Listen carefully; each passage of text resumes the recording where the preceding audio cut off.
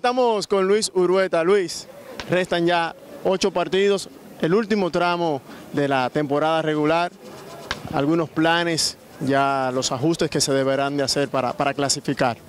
No, no, son ocho juegos importantísimos. Lo hablaba con los muchachos, para mí es una pelea, una pelea de boxeo, ocho rounds y, hay que tratar de salir a ganarlo, ¿no? Hay que, hay que tratar de, de aprovechar los errores del contrario, eh, defendernos bien y bueno, cada vez que tengamos la oportunidad de, de contragolpear hay que hacerlo y no desaprovechar oportunidades.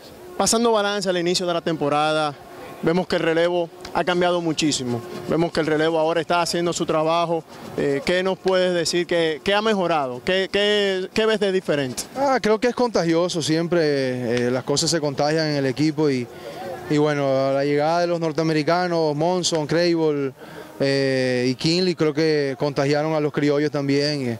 Aro, Santos, Asensio, eh, Ronald Peña, creo que son muchachos que han hecho buenas cosas, Lara, Séptimo, creo que eh, se han contagiado de- del buen trabajo de, estos muchachos. Y bueno, hoy en día el bullpen creo que es un poquito más sólido de lo que lo teníamos al principio. Ahora falta que otra vez empiece una buena racha de los, abridores, la tuvimos en algún momento y desafortunadamente eh, los muchachos no han tenido una buena salida en, los últimos, juegos, así que esperemos que Onelki, Jurgens, eh, Ariel Peña, Flande, los muchachos han, que, han, que han abierto en el pasado, creo que cada vez que se le dé la oportunidad eh, puedan hacer un mejor trabajo. Sergio Alcántara, un jugador que te ha dado estabilidad defensiva, pero aparte de eso está aportando con el bate. Quizás no es su fuerte, pero te ha dado ese, des- ese descanso, ese respiro.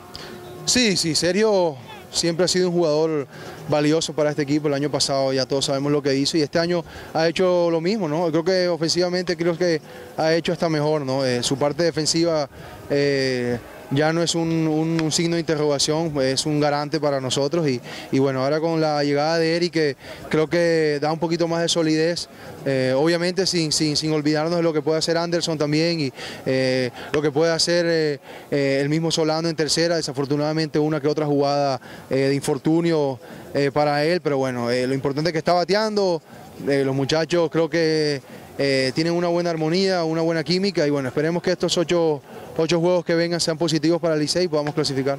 Se debe de mejorar el asunto del porcentaje de envasarse y de mover esos bateadores, esos corredores cuando, cuando hay dos outs.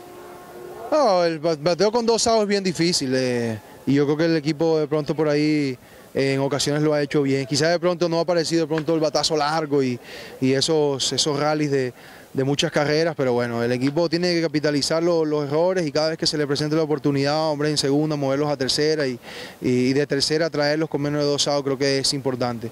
Eh, esperemos que, que también nos contagiemos en ese sentido y, que, y de que la producción del equipo aumente, sobre todo cuando, cuando el pichón lo necesite. Mensaje alentador y de confianza siempre a la, a la fanaticada azul. Sí, no, eh, eh, creo que ese, por ahí lo escuchaba que es un round robin anticipado y, y bueno, seguramente van a ser bastante- definido, ¿eh? No, para nada, creo que hasta el primer lugar eh, todavía está, está en duda y bueno, esperar que, que, que el equipo tenga resultados positivos y aspire eh, a uno de esos lugares y cuidado no el, el lugar eh, más alto que sea el primero o el segundo. Luis Pipe Urueta estuvo conversando con nosotros para Pío Deportes.